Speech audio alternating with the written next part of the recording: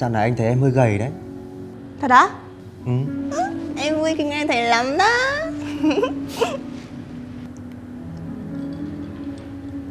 Ôi Giờ trên mạng tràn ngập thông tin về vụ cháy hôm trước này.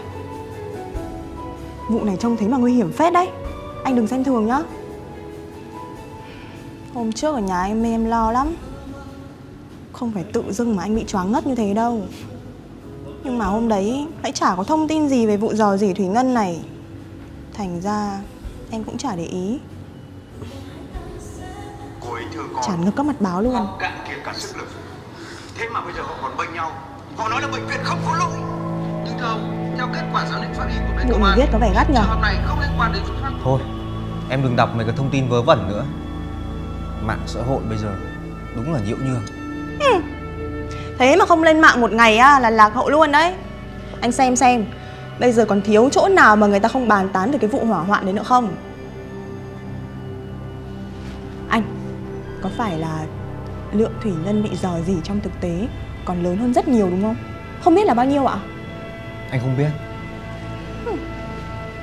Anh là người trong ngành mà không biết thì còn ai biết nữa? Anh có phải là siêu nhân đâu Mà cái gì cũng biết. Cứu hỏa thì chỉ biết chữa cháy thôi. Công tác tẩy độc là của đơn vị khác mà. Ơ Anh cáu à? Em quan tâm thế em mới hỏi chứ. Có đụng chạm gì đâu mà anh cáu.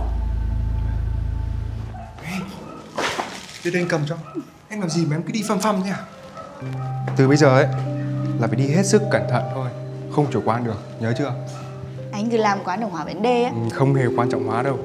Thuốc bác sĩ đã ghi rõ ra đây rồi Tí nữa về anh sẽ phân chia ra. Em nhớ không được bỏ thuốc đâu đấy. Dạ.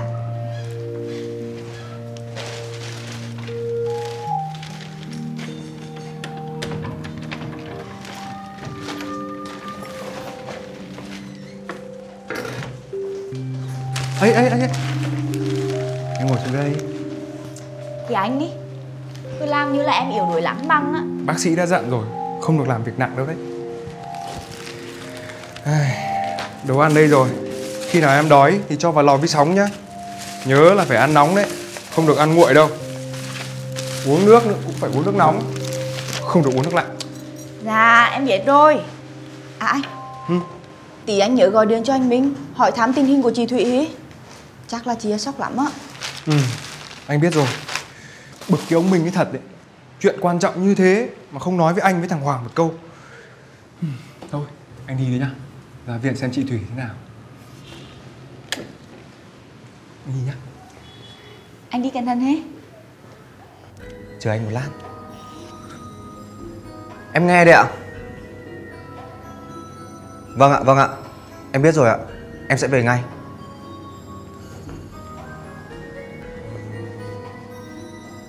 Sao? Đừng nói là anh lại phải đi đấy nhá. Anh... Nhưng mà hôm nay anh có trực đâu. Ừ Nhưng anh đội phó gọi Thế là có chuyện gì? Hay là có kết quả xét nghiệm máu rồi đúng không? Không phải Là chuyện khác. Anh phải nói thật với em. Như thế nào Phải nói để em còn biết chứ. Anh đã bảo rồi Là chuyện khác mà. Anh đi đã nhá. Nếu bây giờ